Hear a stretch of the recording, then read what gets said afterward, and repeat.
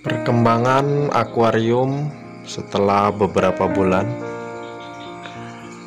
Tema Inazuma tapi ini batunya sudah tidak begitu saya susun lagi ya. Sudah terlihat kayu mulai ditumbuhi oleh lumut-lumut. Nah kayunya mulai ditumbuhi lumut-lumut. Batunya juga mulai lumut semua. Inazuma ini batunya juga sering dibersihkan oleh ikan sapu-sapu lumutnya. Oke untuk ikannya ikan koi. Nah utama ikan utama ikan koi dua ekor. Lalu ada tiger fish lalu mata merah. Mata merah lalu saya ada ikan sepat siam untuk hiasan aja. Nah ini sepat siam oke dia suka bersembunyi. Nah seperti siam suka bersembunyi. Oke. Nah seperti inilah akuarium kita sekarang. Untuk lampu saya sudah ganti ya dengan lampu ini. Karena kemarin sudah putus jadi saya ganti lampu biasa. Lampu seperti ini oke akuarium kita.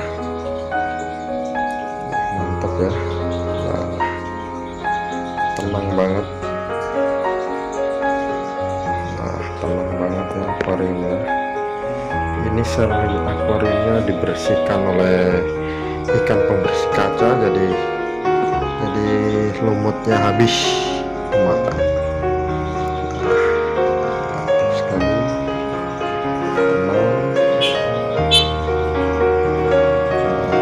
Oke ini akuarium kita.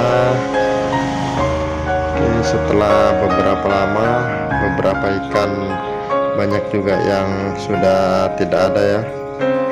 Beberapa ikan juga banyak yang sudah saya taruh kolam. Lalu ini sisa ini. Kemarin dasarannya itu warna hijau ya. Bawahnya saya lumutnya saya biarkan. Tapi saya kemarin saat ada ikan pembersih kaca habis lumutnya dimakan. Nah ini dia nanti ini saya nah pembersih kacanya ini saya pindah sudah ke kolam karena dia memakan ikan ya.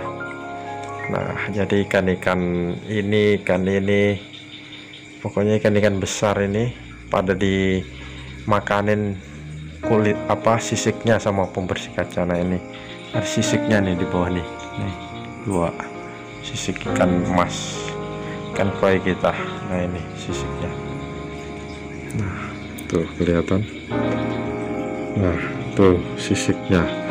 Dimakan oleh ikan pembersih kaca lalu ikan pembersih kacanya sudah taruh saya taruh kolam. Nah ini dia perkembangan update ter terbaru akuarium kita. Oke mungkin sekian. Nah ini juga sebagai masukan bahwa kalau membeli ikan pembersih kaca bagus yang warna albino ya.